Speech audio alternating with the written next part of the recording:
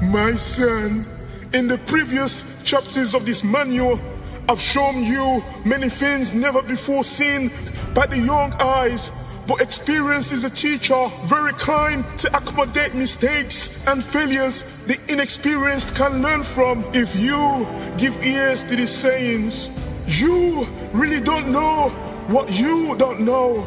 And there are many who don't know what they ought to know. And there are those who know what they don't need to know. All this knowledge is futile unless you put to action what you do know. There is much gains to accumulate as a result. I perceive so much anxiety and self-doubt emanating from you.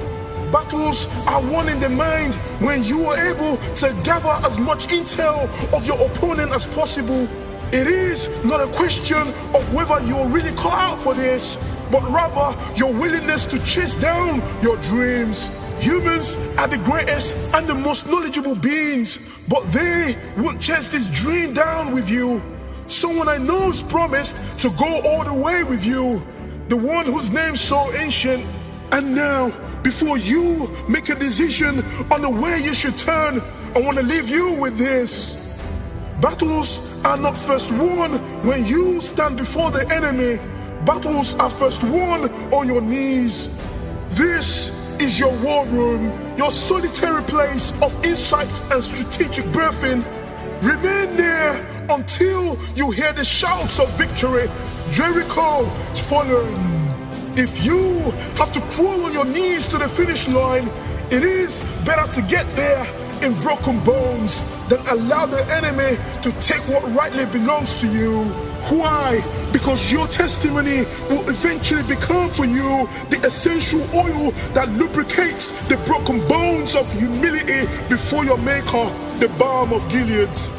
My son, understand this. You have not chosen yourself, but rather before you were brought forth, you were chosen out of the millions of spermatozoa who partook in the battle of the Zoar.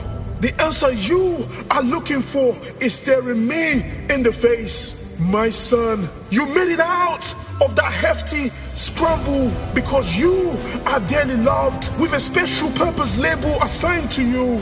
And so you must align yourself to the kingdom rule, the rules of engagement in the kingdom of your maker What's a warrior's reward without compassion to the subject he vows to protect?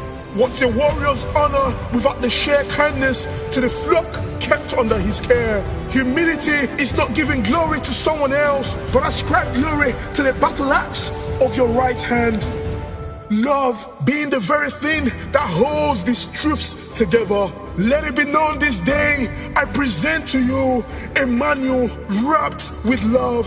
This is the shout of a man dearly loved and clothed by the one whose name so ancient, declaring each day, I'm loved, I'm loved. He wraps me in his love.